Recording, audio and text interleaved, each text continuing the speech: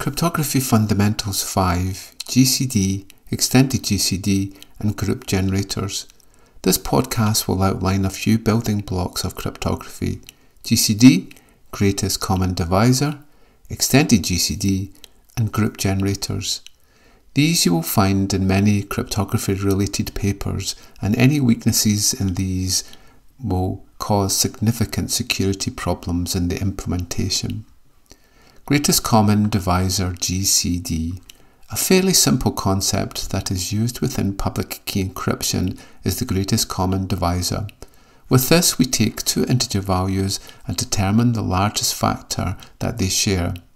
Overall, every non-prime number is made up of the multiplication of prime numbers. For example, 32,128 is 2 times 2 times 2 times 2 times 2 times 2 times 2 times 251 and 36,281 is 7 times 73 times 71. So the GCD of 56 and 42 is 14 as both of these values can be factorised into 2 times 14 times 3 and 3 times 14 respectively. I've given a link on the related web page. Normally we use this function to find values which do not share a factor, as we will see when we are selecting the public exponent e in the RSA method. So we look for GCD of a and b equal to 1. The method to determine GCD is fairly simple, and where we can take two values a and b and then use the modulus operation to find the GCD. I've given the code on the related web page. A sample run of this shows that 679 and 99 do not share any factors. So the GCD of 679 and 99 is equal to 1. Extended GCD. As we saw, GCD is the greatest common divisor. For two integers x and y, the extended GCD method solves ax plus by is equal to v, and where v is equal to GCD of x and y.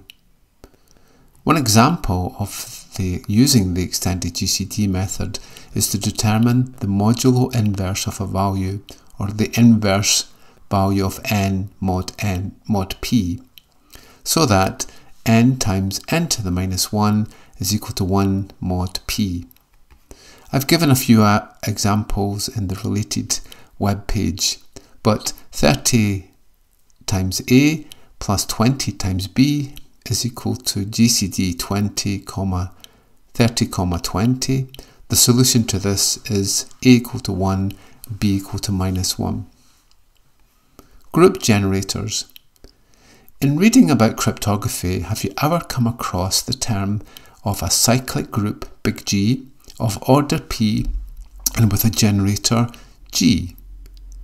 For example, for a discrete log mapping, we might map x to y with y is equal to g to the power of x mod p, and where we have a generator value, little g, and a prime number p. The challenge is that even though we know g, y and p, it is extremely difficult to determine the x value if we use a large prime number. But can we use any value of g and should it be as large as possible? The answer to both of these questions is no. If we select a prime number of 11 and then select g values of 2, 3, 4 up to 10, then we can calculate a table.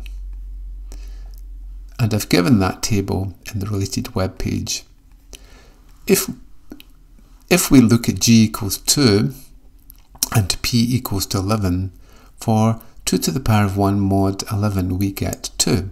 For 2 to the power of 2 mod 11 we get 4. 2 to the power of 3 mod 11 gives 8, and so on. And as we can see, 1, 2, 3, 4, 5, 6, 7, 8, 9, 10 maps to 2, 4, 8, 5, 10, 9, 7, 3, 6, 1. And where all of the input values map to one map, give a one-to-one -one mapping to another value in the group. But if we try g equal to 3 and p equal to 11, then we get for x equals to 1, 3, and for x equal to 6 we also get 3. The mapping is now 1 to 10 gives 39541, 39541 and so we are not using the full range and where there would be confusion in mapping back to the original value. But in order to demonstrate the principle, I've done this in a long-handed way. So how could we find the possible values of little g for a given prime number p?